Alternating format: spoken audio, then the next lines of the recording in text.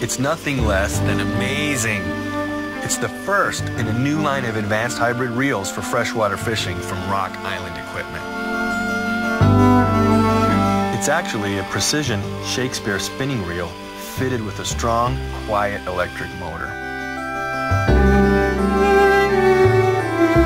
You can hand crank the line in as you would with any traditional reel, but you can also quickly and easily retrieve the line with the touch of a switch. Manual or automatic? It's your choice.